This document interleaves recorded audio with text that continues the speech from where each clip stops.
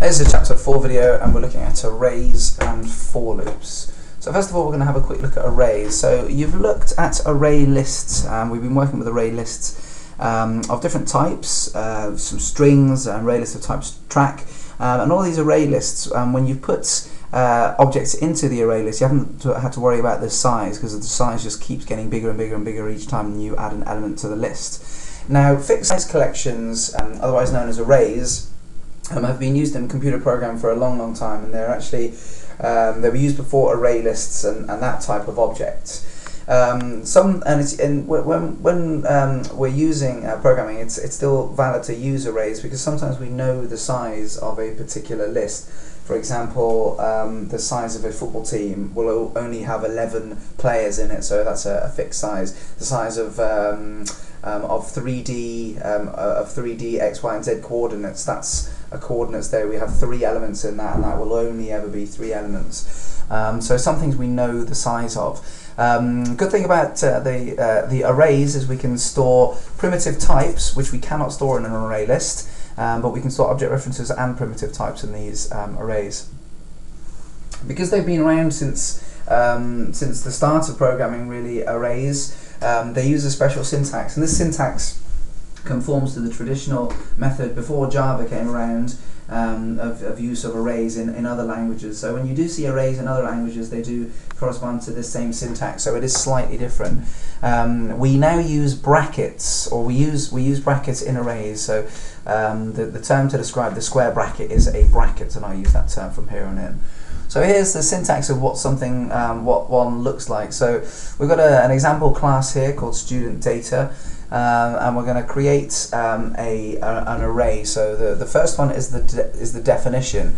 Um, as you see there, um, we've got our um, uh, we've got our um, square brackets as shown there and that shows that it's an array so without that it just becomes an integer um, of called student marks but with that um, brackets there just after the the type which is being defined um, that then becomes an array uh, we don't specify the size when we um, define the array we specify this um, when we do the assignment which is here um, so what we do is we get the in the name of the variable in this case is student marks um, we add the new keyword in there equals new int. We use these square brackets again, which is a, um, which is this strange syntax, and then we specify the size of the array. So here is an example of what an array might look like.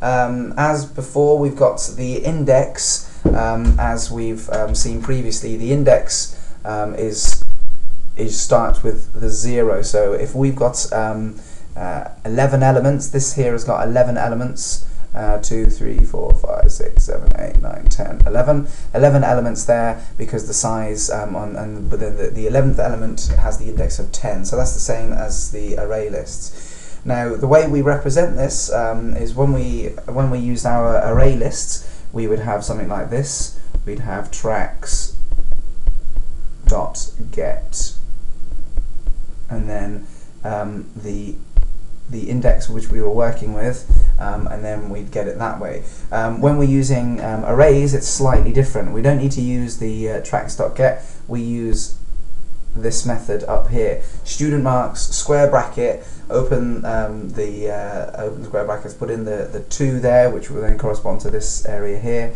um, and then that gives us rather than using a get method to get the information from that um, element in the array. So here's um, some more examples then of what, what it could look like. Um, the first one we've got to see is a, a type um, int array. The second one is a type string array um, called student marks and names respectively. Um, then we've got the assignment there um, of the, the student marks array. and then we've got examples of how to use it at the bottom there. So examples of how to use it here. We've got this one here. It uses the actual figure here. For, whereas we might need to use something like i as a variable, um, or we might use something like the index, um, create a variable index. Um, whichever way we're going to do it, um, we can we can stick the um, the uh, variable in the square brackets there. Um, we can also then, um, if we get a bit clever, then we can pick out a specific um, element in the index uh, and we can add one to it. Remember this plus plus syntax. Um, and then if we wanted to do a, a print line, then we've got um, the normal system that add a print line, um, student marks, open the bracket of whichever element you want to print out, and then close bracket, and then parentheses to finish off your statement there. Um, literals, um, if you've heard of the word literal before, literal is just um, describes what something looks like. So an int literal would might be three, a boolean literal might be false. Um, those are the the actual, uh, the literally the actual um, object um, or primitive type which is being used. So what we can do is we can actually create a integer array and we can define it and assign it in the same in the same statement as you can see um, there. So normally this would just be the assignment on its own, um, but we add an equals in there um, and then stick in what we would like in the array itself. So it assigns it with some actual values.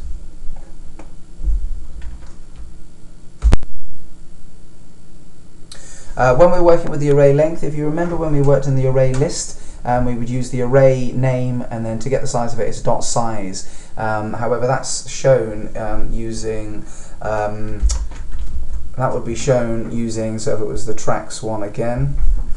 Let's do it the tracks one. Uh, we do we would do. I'll get this in a second. We would do uh, tracks dot size, and then we put two parentheses. However, with arrays, we don't work with that. We work with the actual field um, called length. And to get a field, as um, as long as the field has got a public access modifier, then we can just do the name of the object dot and then the name of the field. So in this case, we use the the field length, and that's used. Um, you won't see many fields used directly with objects um, like this, and array is one of the one of the ones which does which does do it. So just a little um, discussion then on public and private fields. Um, normally we like to keep our fields private. Um, this helps with encapsulation and encapsulation is an important part of object orientation. Encapsulation um, is the ability for objects to maintain and look after their own data and have no other class or other object or other process interfere with that um, particular field. Um, so we like we like to keep them private. However, sometimes it's useful, um, as in the with the array list, that we can get access to the length field. If we want to be able to give someone access to that, then we use um, public. In order to get access um, to arrays, um, we often use a for loop. A for loop is uh, very similar to a for each loop, but for each loops which are used specifically with collections, um, array lists, and other collections like that, um, the for the for loop is used with arrays um, and um, is, is the main thing for assigning um, array um, uh, arrays and all the values therein. Um, for loops can also be used in general for other programming, and you'll often see if you want to create, say, a number list, you might use a for loop. But they're very useful in other uh, in other programming applications. So uh, we've got the, um, the general form there. Um, it's a little bit different to how we've seen um, other um, loops. Um, one of the main things is the structure here, and you'll see um, for loops in any programming language basically have this structure. You have the start variable, uh, what you would like the start variable to be. You have the condition at which the variable needs to get to, and then you have what happens each time the loop gets iterated. So you've got the initialization condition and the post body action. Um, those are separated by semicolons, um, as you can see there, and it's important that you have those semicolons in place. Then you've got the statements to be repeated, um, and so whatever variable you've used uh, will then, um, whatever variable you've used um, in the initialization there will be then used um, in your uh, loop body in here, which is the statements to be repeated. If you wanted to see what it looks like um, in the equivalent while form, then that's how it looks there um, with the um, initialization um, as before, um, and then everything. So that's sort of the pseudocode of how it would look in a while loop. Let's have a look at an example then. Um, so what we're going to do here um, is we're um, going to put our variable in. Um, our variable, and this one here is going to be called int hour. So we assign our variable int hour. We then say, um, effectively, while um, the variable hour is less than the student marks dot length. So while uh, so keep doing that then increment it by one. So what we're going to do is uh, the first time the loop runs through, it's going to have a value of zero. Um, as it runs through, it'll do a system.out.println hour, uh, which is the, um, the student variable. In this case, the first time it would be zero. So zero plus a uh, little colon there in a concatenation.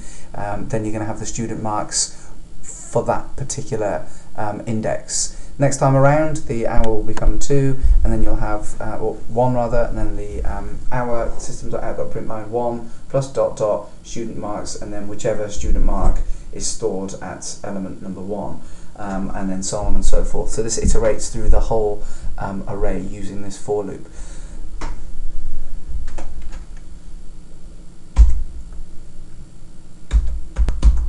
It's a good idea that you get the hang of using these for loops. So um, there's plenty of exercises here. Um, and one of the exercises here, and the, the first one here, um, I want you to create a student class. Uh, and in the student class, um, create um, an array, as you've seen with this uh, the previous slides, um, and um, do create those methods as it says there. So get the hang of using for loops, get the hang of using arrays, and we'll work on those in class. And I've got plenty of tutorials for you then. Okay, see you then.